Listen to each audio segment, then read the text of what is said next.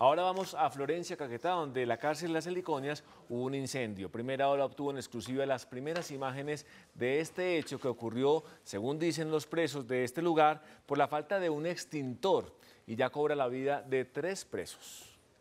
Esta es la única imagen que existe del incendio ocurrido el pasado lunes 15 de enero hacia las 10 y 30 de la noche en la celda 32 del patio 6 de la cárcel Las Heliconias de Florencia. La celda quedó completamente calcinada como lo muestran estas fotografías tomadas por internos del penal. Según denuncian ellos, la falta de un extintor cobró la vida de tres presos y uno permanece en estado crítico. Al bajar a buscar un extintor, nunca encontró un extintor, no había un extintor para poder apagar las llamas, el cual él procede a abrir cuatro celdas para que mismos internos eh, ayudasen a, mitigar y a, a apagar el fuego.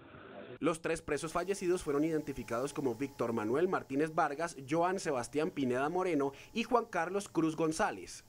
El preso que continúa en delicado estado de salud es John Alexander Cruz Bernal. Ahí dónde están los recursos, por qué no había un extintor, cuál es la razón de un extintor, que con solo un extintor que hubiese habido se hubiesen podido salvar estas vidas.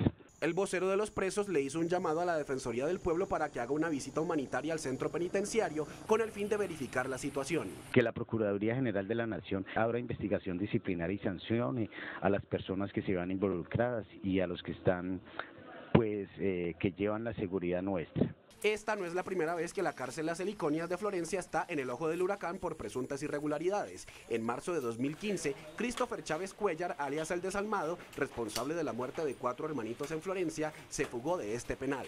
Lo más preocupante es que, según los internos, a pesar de la tragedia, aún no hay un solo extintor en la cárcel. Hasta el momento no ha sido posible obtener una respuesta por parte del IMPEC.